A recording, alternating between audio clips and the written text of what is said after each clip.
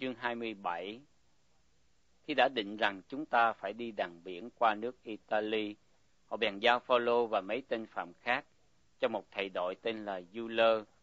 Về đội quân Augusta, chúng ta xuống một chiếc tàu ở Atramis phải trải đi dọc bờ biển Asi, đoạn thì ra đi.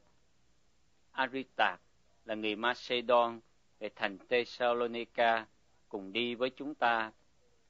Đến ngày sau, chúng ta tới thành Sidon, thì Euler đãi Phaolô cách nhân từ cho phép người đi thăm bạn hữu mình và được họ lo việc mình.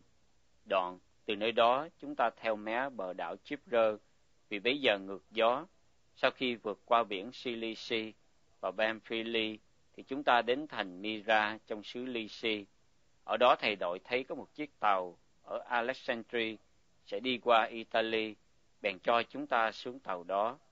Tàu chạy chậm lắm, mất nhiều ngày khó nhọc, mới tới ngang thành Cernit vì gió quá, tàn không thể ghé bến được. Nên chúng ta lại theo mé bờ biển Ceret qua Samon. Khi đã chịu khó đi dọc theo nơi đó, chúng ta mới đến một nơi gọi là Mỹ Cảng gần thành La Xê. Trải lâu ngày, tàu chạy phải nguy hiểm. vì kỳ kiên ăn đã qua rồi, Phaolô bảo trước cho những người trong tàu rằng, tôi thấy sự vượt biển này chắc sẽ phải nguy hiểm và hư hại, chẳng những cho hoàng hóa và chiếc tàu mà thôi, là đến thân chúng ta nữa. Nhưng thầy đội tin lời người lái tàu và chủ tàu hơn là lời Phaolô nói, vì cảng đó không tiện cho tàu đậu lúc mùa đông, nên phần nhiều người đều bàn rằng phải lìa khỏi đó và ráng sức đến cảng Phoenix là cảng của đảo Keret, hướng phía tây nam và phía tây bắc đặng qua mùa đông ở đó. Vừa có gió nam non bắt đầu thổi, họ tưởng rằng có thể tới nơi mình đã định, thì kéo neo mà đi dọc theo gần đảo Keret. Nhưng cách ít lâu, có trận gió dữ tợn gọi là gió Euraquiton thổi lên vật vào đảo. Tàu đã phải bạc đi, chống lại gió chẳng nổi, nên chúng ta để mặc cho theo chiều gió. Tàu bị bạc đến dưới một hòn đảo nhỏ kia gọi là Keloda. Chúng ta khó nhọc lắm mới cầm được chiếc thuyền.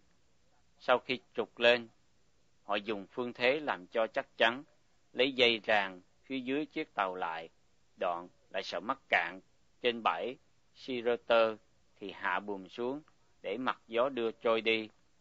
Đến ngày mai, vì bão cứ thổi cũng mạnh như vậy luôn, họ bèn quăng hàng hóa xuống biển. Ngày thứ ba, chúng ta dùng chính tay mình quăng đồ đạc trong tàu xuống biển. Trong mấy ngày mặt trời chẳng có, ngôi sao cũng không, mà bão thì vẫn thổi ào ào luôn, đến nỗi chúng ta chẳng còn trông cậy được cứu nữa. Vì họ không ăn đã lâu, nên Phaolô đứng dậy giữa đám họ mà nói rằng: Hỡi bạn hữu ta, chớ chi bữa trước tin lời ta mà chẳng rời khỏi đảo Keret, thì chúng ta đã chẳng mắc cơn nguy hiểm và tổn hại này. Nhưng bây giờ ta khuyên các ngươi hãy vững lòng. Trong các ngươi chẳng mất ai hết, chỉ mất chiếc tàu mà thôi. Vì đêm nay có một thiên sứ của Đức Chúa Trời là đấng ta thuộc về và hầu việc có hiện đến cùng ta mà phán rằng hỡi Phaolô đừng sợ chi hết ngươi phải ứng hầu trước mặt Caesar. Và này Đức Chúa Trời đã ban cho ngươi hết thảy những kẻ cùng đi biển với ngươi. Vậy hỡi các ông hãy vững lòng vì ta có lòng tin cậy Đức Chúa Trời rằng sẽ xảy ra như lời Ngài đã phán vậy nhưng chúng ta chắc sẽ bị tấp lên một hòn đảo nào đã đến đêm thứ 14 mà chúng ta cứ trôi nổi trên biển Adriatic. Lúc nửa đêm, các bạn tàu ngờ đang đến gần một đất nào. Họ thả trái giò xuống thì thấy sâu hai chục sải. Hơi xa một ít, lại thả nữa thì thấy mười lăm sải. Bây giờ sợ đụng rạn, họ bèn từ trên đầu lái tàu quăng bốn neo xuống và ước ao đến sáng nhưng vì bạn tàu tìm phương lánh khỏi chiếc tàu và thả chiếc tam bản xuống biển, giả đò đi thả neo đằng trước mũi, thì Phaolô nói với thầy đội và lính rằng, nếu những người này chẳng cứ ở trong tàu, thì các ông chẳng được cứu. Bọn lính bằng các dây buộc tam bản làm cho rớt xuống. Đoạn, trong khi đợi trời sáng, Paulo khuyên ai nấy hãy ăn. Người nói, hôm nay là ngày thứ mười bốn mà các người đang trông đợi, nhịn đói chẳng ăn chút nào. Vậy, ta khuyên các ngươi hãy ăn, vì thật là rất cần cho sự cứu của các ngươi, và chẳng ai trong vòng các ngươi sẽ mất một sợi tóc trên đầu mình. Nói như vậy rồi, người bèn lấy bánh, đứng trước mặt mọi người, tạ ơn Đức Chúa Trời rồi, thì bẻ ra và ăn.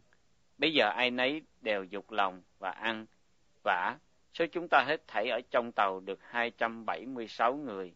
Họ đã ăn vừa no nê, bèn quăng đồ lương thực xuống biển, làm cho nhẹ tàu đi. Đến sáng ngày, họ chẳng nhận biết là đất nào, nhưng thấy có cái vịnh và bờ, bèn định đổ tàu đó mà núp xem có thể được chăng.